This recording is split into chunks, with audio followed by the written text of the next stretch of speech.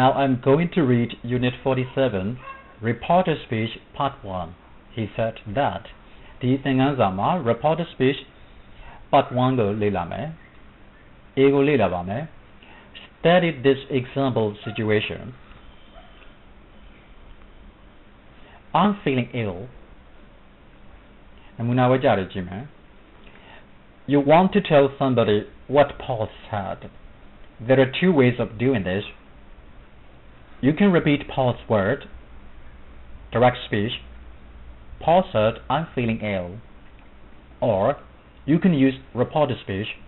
Paul said that he was feeling ill. ကြည့်မယ်မင်းက you want to tell somebody တယောက်ယောက်ကိုမင်းကပြောပြခြင်းတယ် what Paul said Paul ဘာပြောလိုက်တယ်လဲဆိုတာကိုမင်းကတယောက်ယောက်ကိုပြောပြခြင်းတယ် Paul ကဒီပုံထဲမှာ I'm feeling ill ငါနေမကောင်းငါနေမကောင်းဘူးကွာလို့ပြောတဲ့စကား ဒီစကားကိုတခြားလူကိုကိုကပြောပြခြင်းတယ် There are two ways of doing this အဲ့ဒီလိုပြန်ပြောတဲ့နေရာမှာနီလန်းနှစ်ခုရှိတယ် You can repeat Paul's words Paul ပြောတဲ့စကားလုံးတွေကိုမင်းပြန်ထပ်ပြောလို့ရတယ်အဲ့ဒါကို direct speech လို့ခေါ်တယ်သူပြောတဲ့စကားကိုသူပြောတဲ့စကားအတိုင်းဘာမှမပြင်ဘဲနဲ့ပြန်ပြောတာ Paul said I'm feeling ill ငါနေမကောင်းဘူးလို့ Paul ကပြောတယ်ကွာ Paul ပြောတဲ့စကားကို I ကို I အတိုင်းထားတယ် tense က present continuous tense ကို present continuous tense အတိုင်းပဲထားတယ်ဘာမှမပြင်ဘဲနဲ့ပြောတယ်အဲ့ဒါ direct speech ဓာတ်ရိုက်ပြောလိုက်တာ or you can use reported speech ဒီလိုမှမဟုတ်ရင် reported ဆို report ဆိုတာပြန်ပြောတယ်ပြန်ပြီးသတင်းပေးတဲ့ပုံစံမျိုးအဲ့တော့ပြန်ပြောပြတဲ့ပုံစံမျိုးနဲ့သုံးလို့ရတယ် reported speech နဲ့လည်းပြောလို့ရတယ်ဘယ်လိုပြောမလဲ Paul said နောက်က that cross that cross လိုက်ပေးတယ် အပေါ်မှာပြန်ပြီးပြောကြည့်အောင် direct speech မှာတော့ကသူပြောတဲ့စကားတွေကိုသူပြောတဲ့စကားအတိုင်းမပြင်မဲနဲ့ထည့်တဲ့အခါကျတော့အဲ့ဒီစကားစုကိုကိုက open inverted comma နဲ့ပိတ်တယ်အဲ့ဒါလေးကိုကိုက comma အဖွင့်အပိတ် comma လေးနဲ့ပိတ်ပြီးတော့အဲ့ထဲမှာပဲထည့်လိုက်တယ် Paul said ဆိုတဲ့နေရာမှာ comma ခံတယ်ဒါသူ့စကားကိုတိုက်ရိုက်သုံးနေအခု reporter speech ကိုသုံးတဲ့အခါကျတော့အဲ့ဒီခွင့်အဖွင့်အပိတ်ကလေးကိုဖြုတ်လိုက်မယ် ဖြုတ်လိုက်တဲ့အခါကျတော့အထက်ထဲမှာ tense ကိုပြောင်းပေးလိုက်ရတယ် Paul said past tense ဖြစ်တော့ present tense ကိုတွေ့ရင် past tense ပြောင်း present continuous ဆိုရင် past continuous ကိုပြောင်း pronoun တွေပြောင်းပေးရတယ်အခုသူပြောတဲ့စကားအတိုင်းဆိုတော့သူက I လို့ပြောတာကိုက he လို့ပြန်ပြောရတယ်သူကပြောတယ်ကွာလို့ကိုကပြန်ပြောမယ်ဒီတော့ he he tense ပြောင်းလိုက်တော့ was feeling နောက်ကဖြေဖို့ကတော့မပြောင်းပါဘူး ill ဖြေဖို့ဖြေဖို့မှာလည်းပဲအာ pronoun တွေဆိုလို့ရှိရင် စီလျော်တယ်လို့ပြန်ပြောင်းပေးရတာရှိမယ်နေရာတွေဆိုလို့ရှိရင်လည်းစီလျော်ပြောင်းရတာလေးလာလိုက်မယ်အခုဒီမှာတော့ Paul said that he was feeling ill pronoun ပြောင်းတယ် tense ပြောင်းတယ် that ခံပြီးတော့ရေးတယ် comma ဖြုတ်သွားတယ်ဒီနည်းနှစ်နည်းနဲ့ပြောလို့ရတယ် compare နှိုင်းယှဉ်ကြည့်မယ် direct direct speech မှာ Paul said I am feeling ill ဒါသူပြောတဲ့စကားကိုဘာနဲ့ထည့်ထားလဲ in writing we use these quotation marks to show direct speech direct speech ကိုပြဖို့အတွက်ဒီ quotation marks လေးကိုသုံးရတယ်အဖွင့်အပိတ် comma open inverted comma လို့လည်းခေါ်တယ်ဒါကို quotation marks လို့လည်းခေါ်တယ်အဲ့ဒီအဖွင့်အပိတ်ထဲမှာသူပြောတဲ့စကားကိုသူပြောတဲ့စကားအတိုင်းစကားအတိုင်းတိုက်ရိုက်ထည့် reported speech ရတော့ကြည့်မယ် Paul said ကောမဖြုတ် that ထက် pronoun ပြောင်းမယ် I ကနေ he ယောက်ျားလေးဆိုတော့ he ပြောင်းတယ် tense ပြောင်းမယ် am ကနေ past tense was နောက်က feeling ill ကျန်တာကစီလျော်တယ်လို့ပြန်လိုက်ပြီးရေးသွားတယ် or he was feeling ill ဒီကိုလေ့လာမယ် When we use reported speech, the main verb of the sentence is usually past. Reported speech ကိုသုံးတဲ့အခါမှာ the main verb of the sentence ဝကျရဲ့အဓိကကရိယာဟာ is usually past ထုံးစံအားဖြင့်အတိတ်ပါ direct speech မဟုတ်ဘူးเนาะ reported speech ထုံးစံအားဖြင့် past tense ပဲနေရမယ် Paul said that Paul ကပြောခဲ့တယ်ကွာလို့ပြောတဲ့ကောကအနောက်ကဥစ္စာက past tense အခုဒီမှာဆိုလိုတာက အဓိကကရိယာကဘာကဘာလဲဆိုတော့ Paul said Paul ကပြောခဲ့တယ်ဆိုတဲ့စကားလုံး အဲ့ဒါ main verb ပဲဒီ main verb ကထုံးစံအားဖြင့် past tense နဲ့ရှိတယ်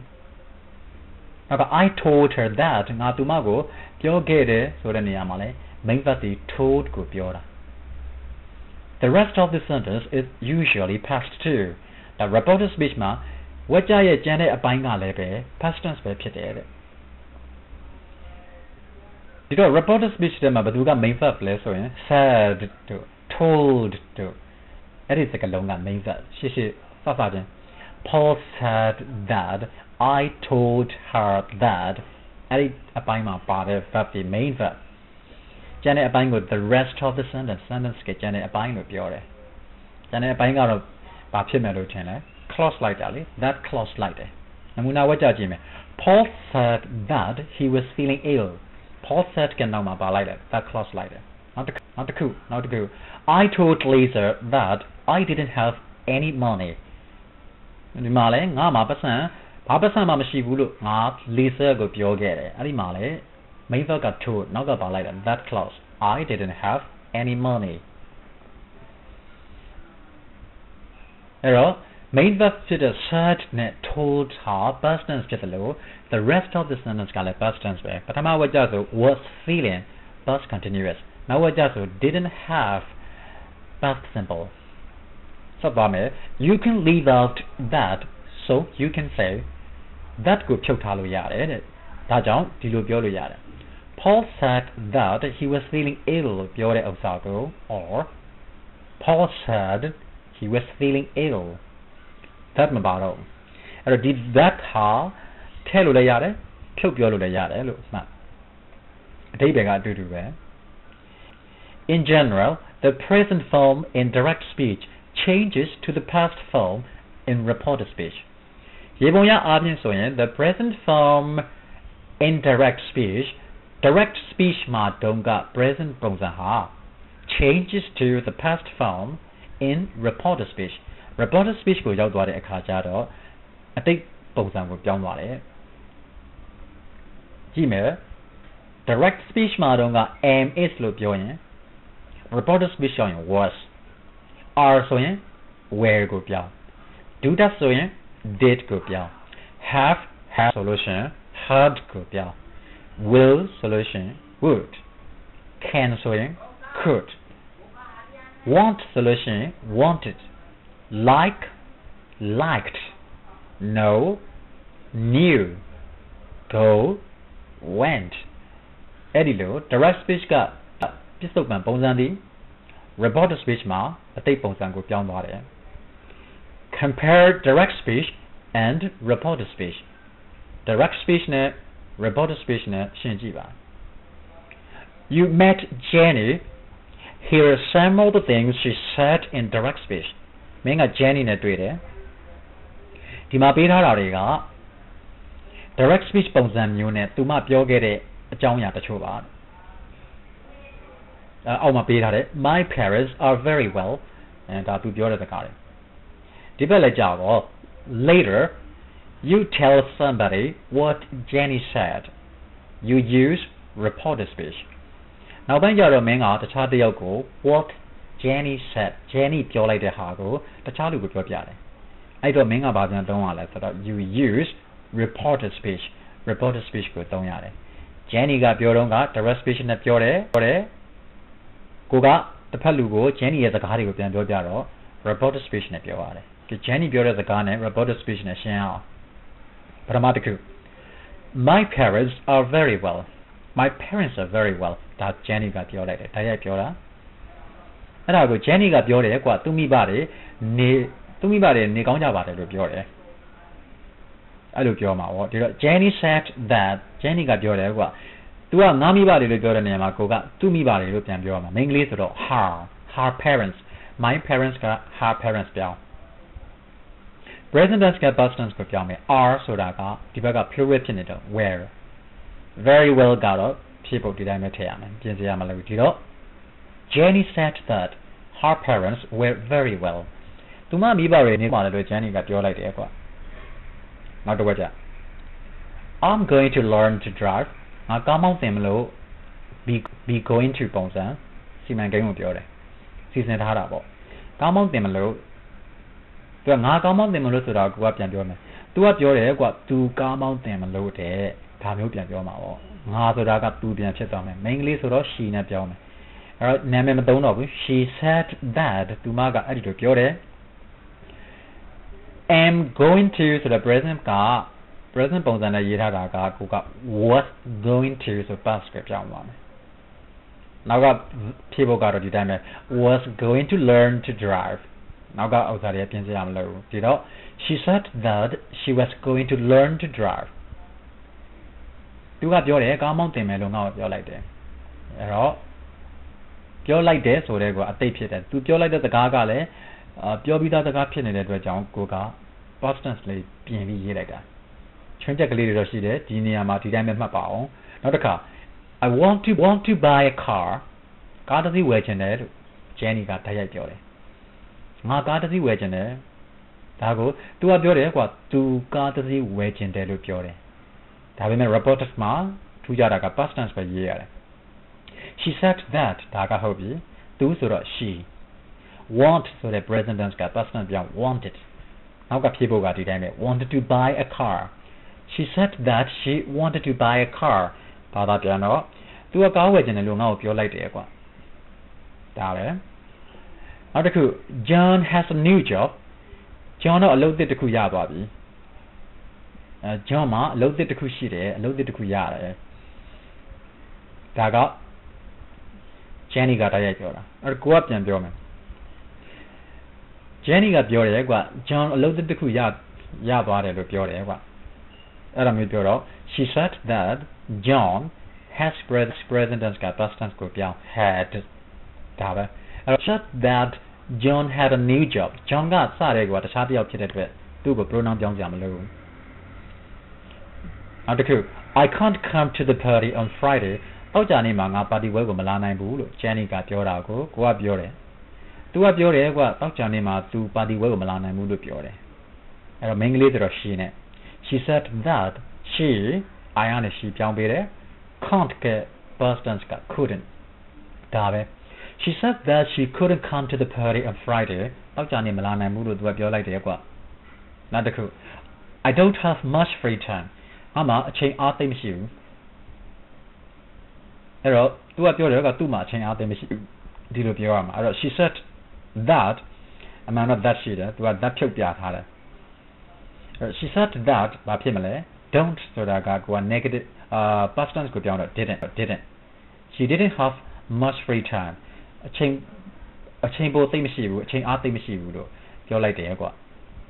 နောက်တစ်ခု I'm going away for a few days ဒီတစ်ပိုင်းလေးပဲအရင်ကြည့်မယ် I'm going away present continuous ကိုတွေ့မယ် I'm going away ခရီးထွက်မယ် for a few days ရဲ့အနည်းငယ်အဲ့တော့ तू ကခရီးထွက်မယ်လို့ ရဲ့အနည်းငယ်ခရီးထွက်မယ်လို့ပြောတယ် she said that I'm going am going up was going ဖြစ်သွားမယ်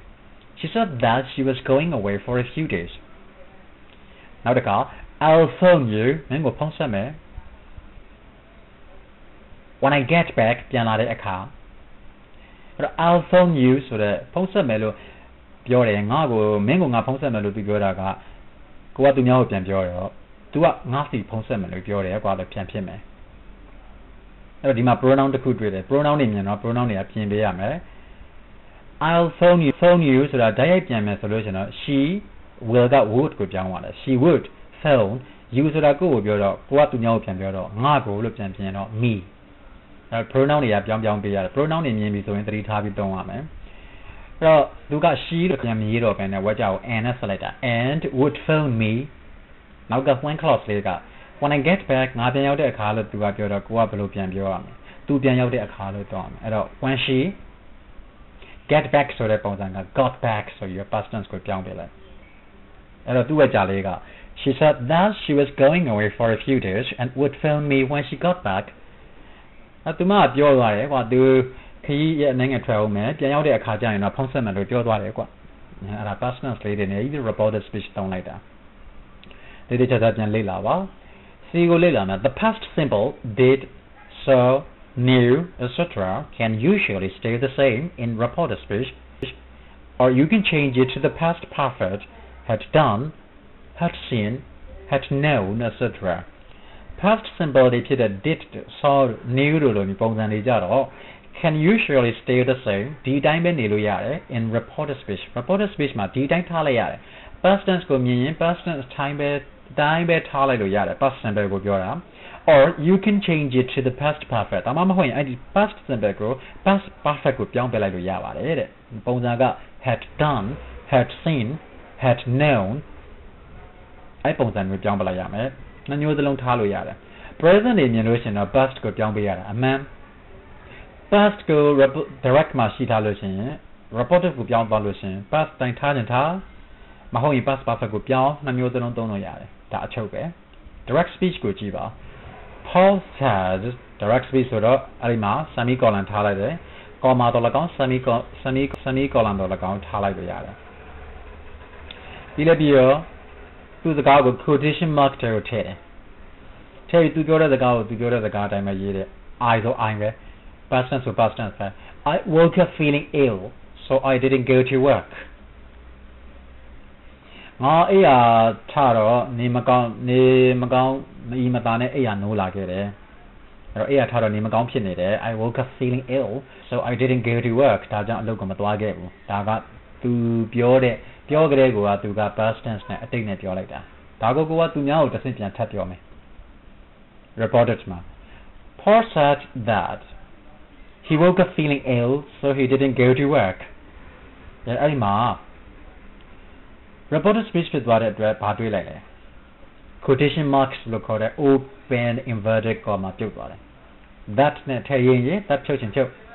comma တော့မပါတာသိကြတယ်ဒါလေ Paul said that past tense နဲ့ပြောထားတာကိုဘာမှမပြင်ဘဲနဲ့ past tense တိုင်းပဲရေးလိုက်တယ် he woke up feeling ill so he didn't go to work ဘာမှမပြင်ဘူးဘာပြင်လဲ pronoun ပဲပြင်လိုက်တယ် tense ကိုမပြင်ဘူး pronoun က I လို့သုံးထားတာကို he လို့ပြန်ပြင်လိုက်တယ်ဒီမှာဒါပဲပြင်တယ်ဆိုလိုတာက past tense တွေ့ရင် verb က past tense တိုင်းပြန်ရေးလို့ရပါတယ်နောက်တနည်းရေးတော့ or Paul said that he had woken up feeling ill so he hadn't gone to work Paul ကပြောတယ် he had woken up woke up ဆိုတဲ့ past tense ကို past perfect ကိုပြောင်းပြတာ past perfect ဆိုရင် had had အမှန်တကယ်လို့တယ် ပြီးရင် main verb ကို past participle ပြောင်းရတယ် woke ဆိုတဲ့ verb ရဲ့ past participle ဒီ W O K E N woken ဒီတော့ he had woken up feeling ill နောက်က didn't go ဆိုတဲ့ပုံစံရဲ့ past perfect ကိုသုံးခြင်းရင် negative ဖြစ်တော့ had past perfect အတွက် had လို့ရပြီးတော့ negative ဆို not နဲ့တွဲ hadn't go ရဲ့ past participle က gone အဲ့တော့ hadn't gone he hadn't gone to work အလုပ်ကိုမသွားခဲ့ဘူး အဲ့ရထားတော့နေမကောင်းဖြစ်နေတဲ့အတွက်ကြောင့်အလုပ်မသွားခဲ့ဘူးလို့သူငါ့ကိုပြောလိုက်တယ်။ဘာလေးလာမိလဲ direct speech မှာ past tense နဲ့ပြောတာကိုအဲ့ဒီ simple past tense ထားချင်ထားမထားရင် past perfect ကိုပြောင်းပြီးတော့ရေးနှမျိုးစလုံးရေးလို့ရတယ်။လေ့ကျင့်ခန်းတွေလုပ်ကြည့်မယ်။ exercises 47.1 Yesterday you met a friend of yours Steve You hadn't seen him for a long time Here are some of the things Steve said to you မနေ့ကတော့ငါမင်းကမင်းတငယ်ချင်းတယောက်ဖြစ်တဲ့ Steve နဲ့တွေ့တယ်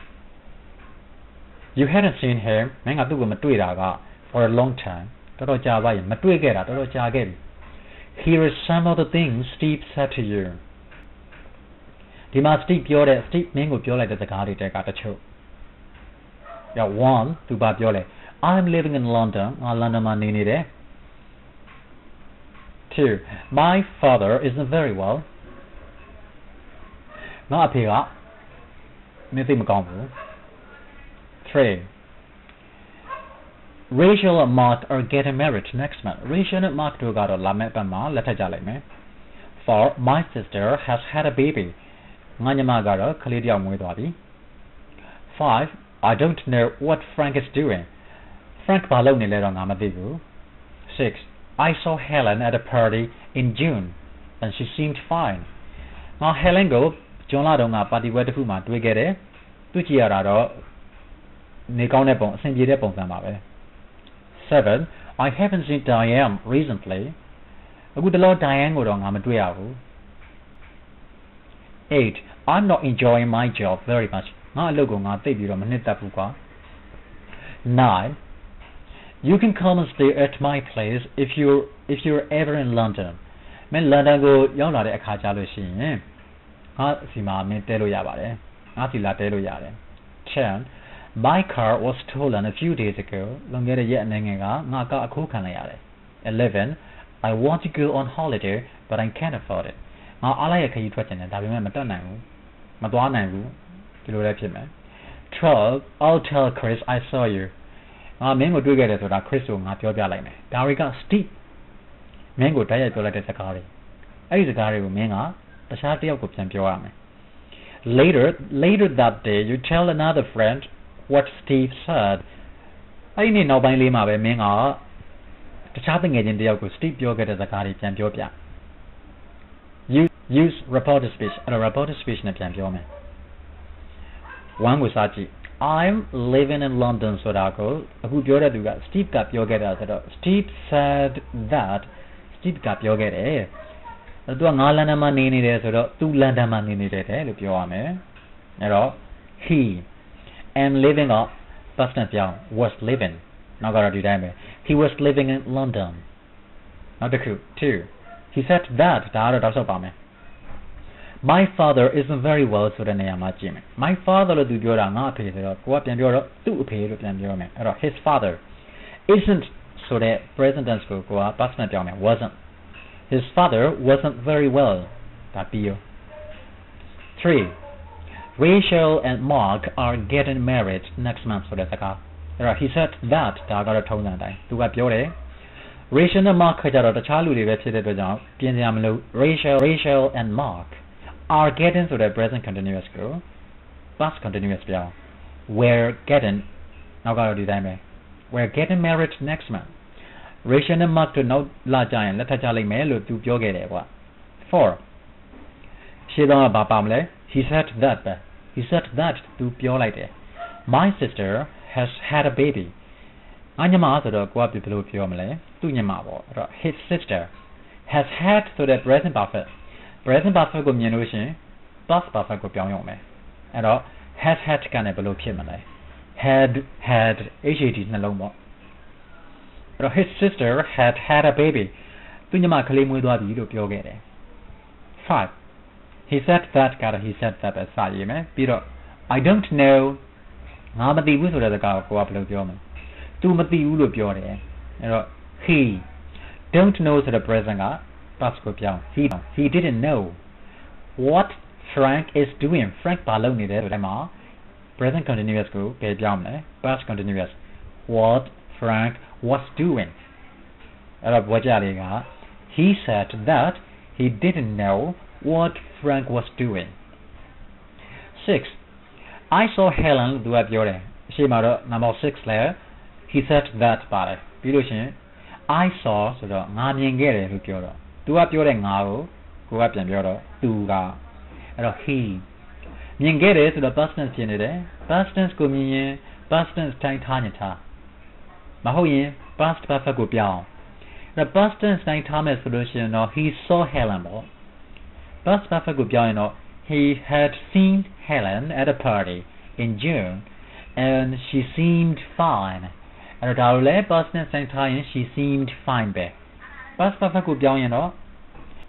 she had seemed fine ဒီလိုဖြစ်သွားမယ်ဒီလိုဝကြဘယ်လိုဖြစ်မလဲ He said that he had seen Helen at a party in June and she had seemed fine. 7. I haven't seen Diane recently. လက်တလောလောလောဆယ် Diane ကိုအခုတလောမတွေ့ဘူးဆက်ပြောတဲ့အခါမှာငါလို့ပြောတော့ကိုက he နဲ့ပြန်သုံးမယ်သူအဲ့တော့ he said that he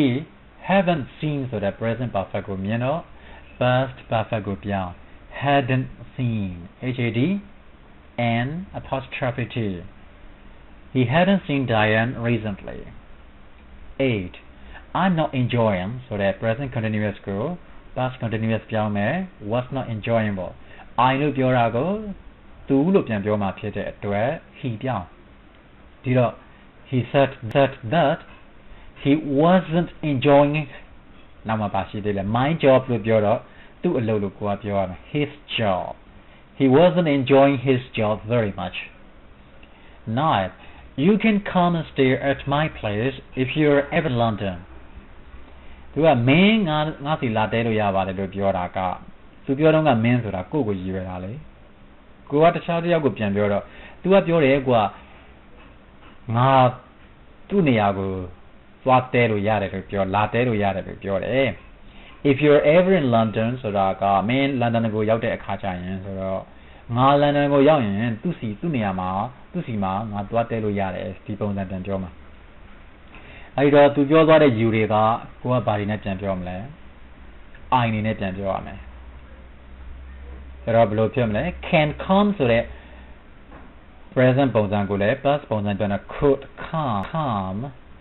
could come and stay uh you're ever ဆိုတဲ့ present ကိုလည်း I was ever ဒီလိုပြန်ပြင်လိုက်ရတယ် past tense ပြောင်းတာအဲ့တော့ဒီဝက်ကြလေးက he said that I could come and stay at my place ဆိုတာသူ့နေရာဖြစ်တဲ့အတွက်ကြောင့် his place if I was ever in London အဲ့လိုဖြစ်သွားပြီ10 my car was stolen a few days ago ငါကအခိုးခံလိုက်ရတယ် past tense ဖြစ်နေတယ်ဒီတိုင်းထားလိုက်ရတယ် past perfect ပြောင်းလိုက်ရတယ်ဒီတိုင်းထားတာတော့မခက်ဘူး past perfect ပြောင်းရင် had been stolen အဲ့တော့ he said that my car ကသူ့ကားဆိုတော့ his car his car had been stolen a few days ago 11 I want to go on holiday သူကပြောတာဆိုတော့ he လို့ပြင်မယ် want to go ဆိုတဲ့ present က past ကိုပြောင်းတော့ wanted to go but I can't afford it ဆိုတော့ဆိုတော့ I က he can't afford it က couldn't afford it past tense ကိုပြောင်းဒီတော့ဝတ်ကြက he said that I sorry he said that he wanted to go on holiday but he couldn't afford it 12 I'll tell Chris I saw you ဒီမှာ I နဲ့ဆိုတော့ကိုက he ပြန်ပြောင်း will the would ကိုပြောင်း he would tell Chris I saw you ဆိုတော့ I ဆိုတာသူကပြောတာဆိုတော့ he saw you ဆိုတာကိုကိုပြောတာဆိုတော့ me he saw me past tense ကို past tense နဲ့ထားလဲရတယ်ဆိုတော့အဲ့တိုင်းလေးထားရင် he said that he would tell Chris he saw me past perfect ကိုပြောင်းရင်တော့ he had seen me ဟုတ်ပြီအဲ့တော့အဖြေလေးတွေပြီးသွားတော့ဝါကြလေးတွေကိုပြန်ဖတ်မယ် 1 Steve said that he was he was living in London 2 He said that Rachel and Mark were getting married next month Sorry 2 He said that his father wasn't very well 3. He said that Rachel and Mark were getting married next month. 4. He said that his sister had had a baby. 5. He said that he didn't know what Frank was doing. 6. He said that he had seen Helen at a party in June and she had seemed fine. Or he said that he saw Helen at a party in June and she seemed fine. 7. He said that he hadn't seen Diane recently. 8. He said that he wasn't enjoying his job very much. 9. He said that I could come and stay at his place if I was ever in London.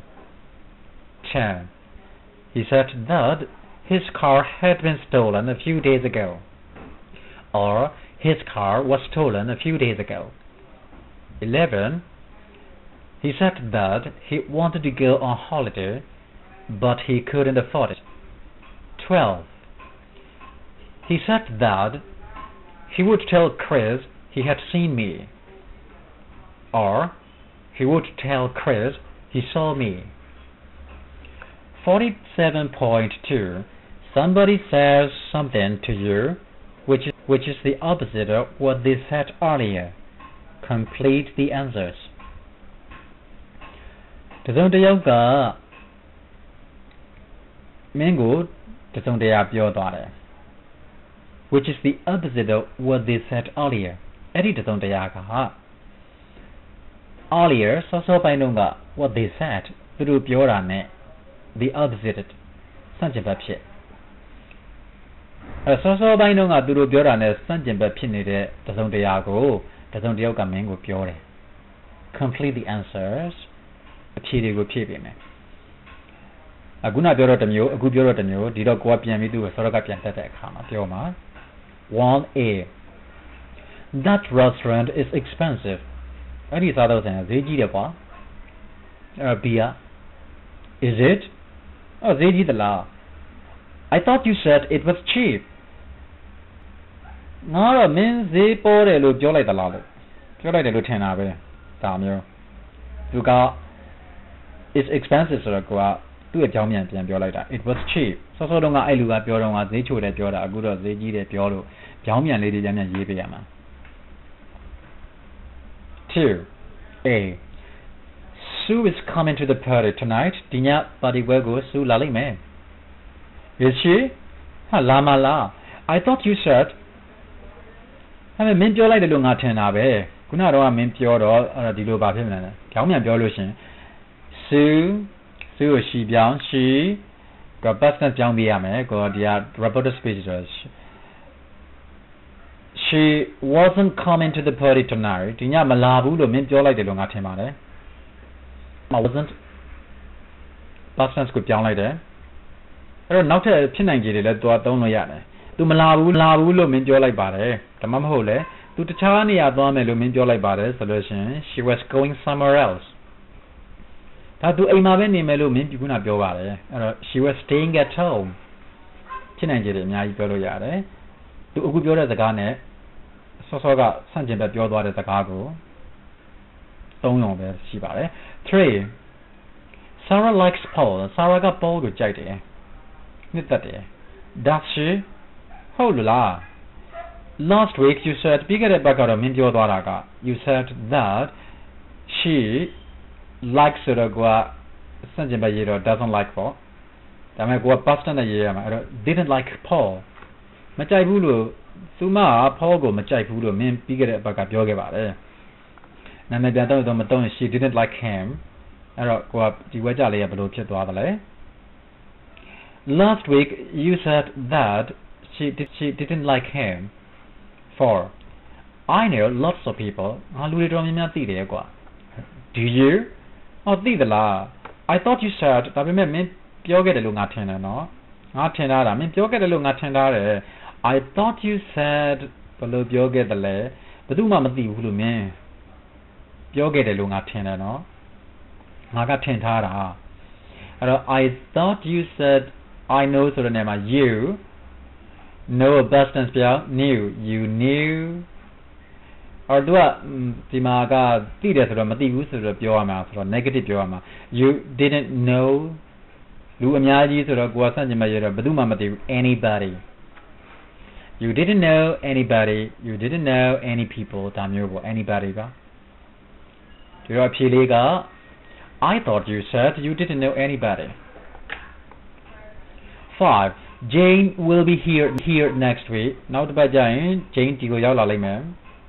will she ရောက်လာမှာလား but didn't you say ဒါပေမဲ့မင်းမပြောမင်းပြောလိုက်တယ်မလား didn't you say